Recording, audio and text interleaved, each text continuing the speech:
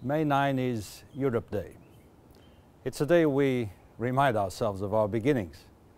It was all about ending war in Europe 60 years ago.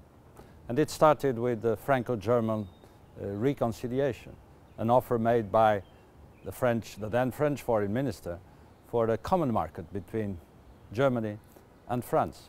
It enlarged to the six founding members of the European Union. We are now 28, half a billion people.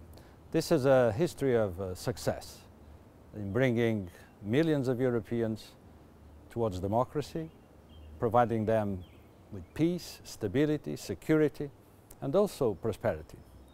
Europe Day is also a moment to remind ourselves of the importance of American support to the European project and overall the importance of the transatlantic uh, relationship.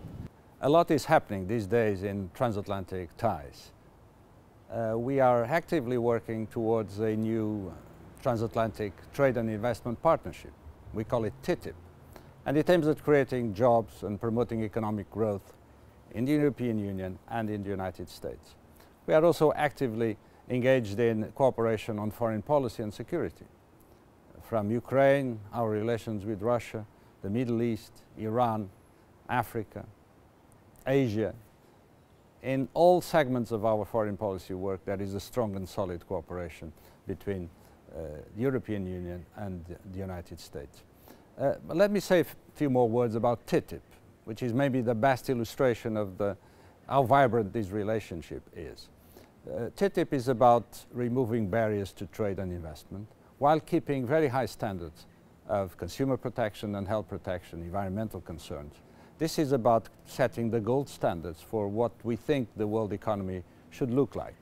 We believe we have the responsibility to do that as the two most important trading partners in the world, but we also believe it's in our interest to do so, in the interest of our consumers, our workers, our businesses in Europe and the US. So it's a very ambitious, a very ambitious uh, project.